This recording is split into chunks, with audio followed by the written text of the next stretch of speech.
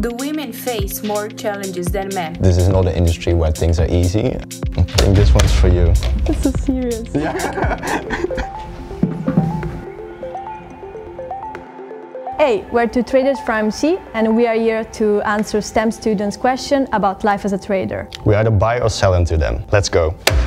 What is your number one motivator at work? Is it just outperforming your peers?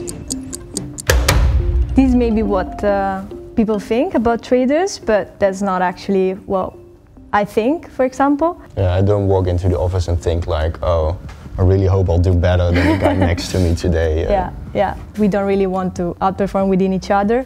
And IMC is a very collaborative environment, which I think is a bit of the secret sauce that we have. Your success is partially determined by the success of others. Yes, yes.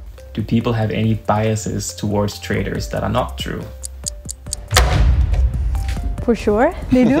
I think one of the biggest misconceptions is that it's not like in the movies with bankers in suits. It's more a group of nerds geeking out about numbers and trying to set up an automated strategy using quantitative methods. it's way more informal and Yeah. tech-oriented.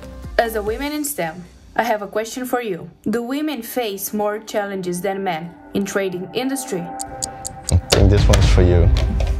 I never had any obstacle while working at IMC. It's a very inclusive, collaborative environment. It's very welcoming for everybody. And IMC as a company is making a lot of steps, concrete steps towards having and attract more uh, female students with, you know, female talent program and uh, a lot of other events dedicated to women. And there's nothing really stopping you from succeeding, which is gender related. Do you face big challenges as a trader?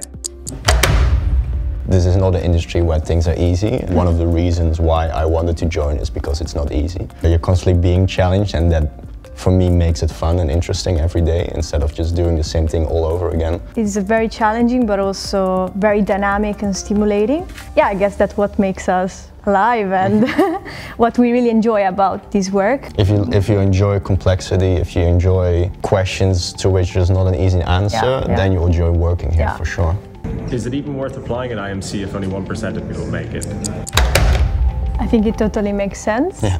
And it's very difficult to accomplish things if you one doesn't really dare to try. Mm-hmm. Yeah, I would invite students to just forget about the numbers game and enjoy the recruitment process, which is also a great way to let, get to know the company, the culture, and the industry itself. Be prepared to play some trading games and uh, really you know, motivate their answers and try to walk us through your, their thought process. And they do it a lot through brain teasers, but through those you can show your thought process. So it's also good that you be able to communicate what you're thinking and explain to a person why you make certain decisions. Yeah. Is trading the same everywhere, or is there a difference between types of trading and between the trading that you guys do at IMC? Trading um, definitely is not the same everywhere. For example, IMC is a market making firm, so we try to buy and sell products as soon as we can and try not to take on our books the risk stemming from these products, but trying to capture in the beta spread.